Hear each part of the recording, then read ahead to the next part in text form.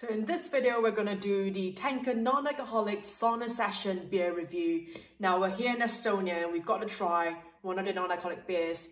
This is the Tanker, it's an Estonian brewery and it is inspired by the sauna. What do you know about this brewery? I know they were founded in 2014 here in Tallinn and they've moved locations so now they have a much bigger brewing location and their calling card is this birch ale. Specifically, the alcoholic version is their bestseller.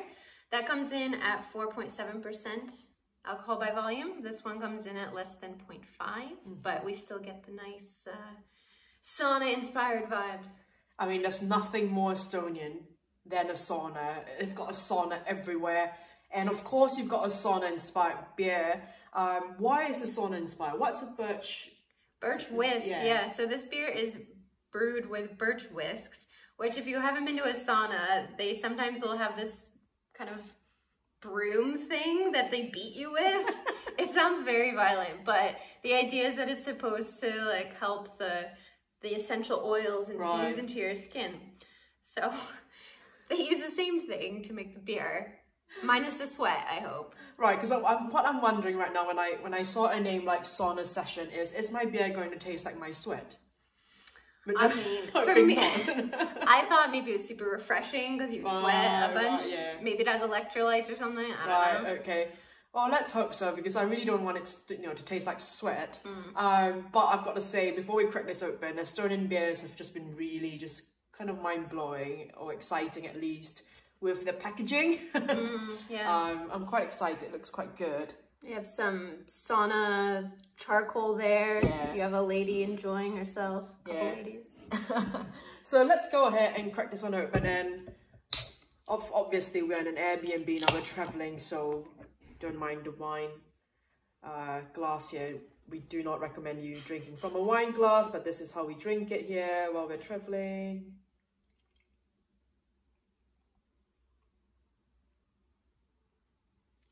So you've got a nice, yeah, like a nice um, one finger um, foam hit, white foam hit. It's not very impressive.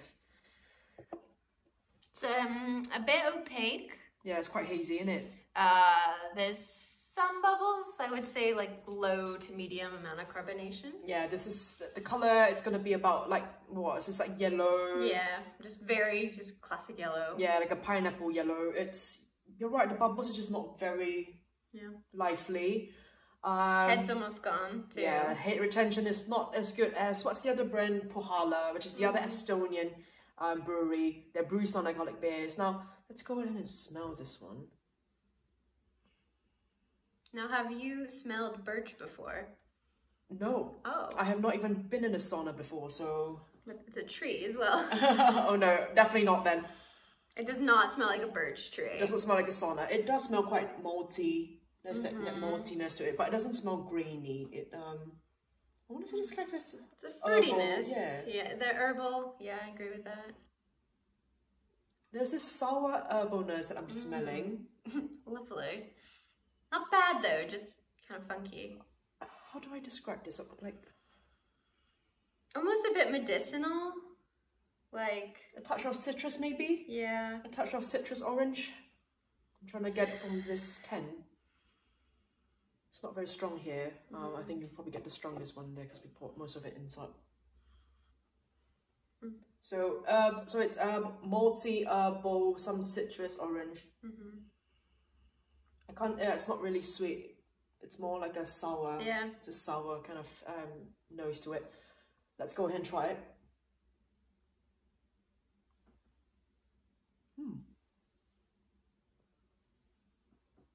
Hmm. Oh wow. It is unlike anything I've ever drank before. First thought, I don't hate it. It's very interesting. It it has this taste of herbal, like wood. Perfect. Ah, ah, is that the birch? it's like this herbal. Um, is it a bit medicinal? Yeah, it's mm -hmm. a bit mm-hmm. medicinal, herbal kind of. Mm -hmm. It's Taste. lingering in my mouth, and the longer It it's is. there, the less I like it. It reminds me of like Chinese herbal medicine, to be Mm. honest. And then there's the hop bitterness as well. It's a bit, it's a bit strong and lingering. Mhm. And the uh, the sweetness from from the esters are quite, it's quite uh strong as well. Let's let's see. The carbonation is definitely missing for me. Um, it feels a bit flat. Body's a bit watery, Yeah, It's a bit thin, yeah. not not very full. I mean, it's not so thin that you feel like you're drinking just hop and water. Yeah, But I just can't get over the medicinal uh, yeah. herbal It's, flavor. it's a lot. It's a very, very unique flavor. Probably the most unique tasting beer that I've had thus far. I don't even know how to describe it. It feels like wood. It tastes like wood and herbs. It's like you're licking a birch tree. It's like I'm licking the walls of a sauna. Yeah, because you know, you walk into a sauna, it does have that kind of like smell to it. I don't know what it is. It's humidity, wood, birch, it's all of that, but in a flavor.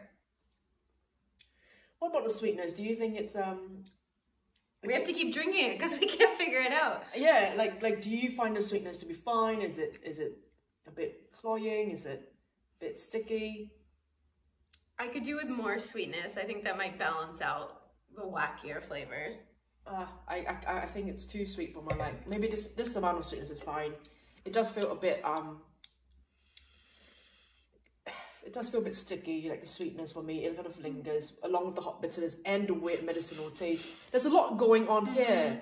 It's not bad. That said, though, it's very cohesive. It's not like Yeah. all these random Right. discordant notes, but it's just like really hard to put your finger on. It's not bad. It's not bad, but It's just would I drink it again? I don't know. I might. I might, but I can't imagine this beer being good when it's not chilled. Mm, absolutely. Because So, the taste, woof. Hot tip: don't take it into the sauna. Drink it after you're done. Alright, so out of five stars, what would you give it? Uh, okay. I'll preface my rating by saying this feels like great idea, poor execution. Ah, So I'm gonna give it a three. hmm. Yeah, I kind of feel like it's a two and a half or three kind of beer. It's not my favorite. It's got some kind of lingering weird note to it. I mean, just from the first taste, it's really kind of weird. But I can feel like it's a craft brewery, so I feel the craftsmanship behind it. Yeah. It feels uh, worked on. Like it's not a supermarket beer; it's much more complex than that. Which ironically, it is a supermarket beer. That's where we got it. It might have started off as a craft beer brewery, but certainly found its way into the supermarket.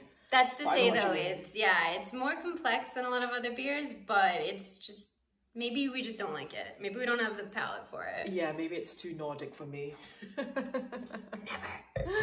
so that's all we have for you today in this review. If you enjoyed this non-alcoholic beer review, go check out our other reviews or go visit us on our website at oneclubsober.com. Cheers!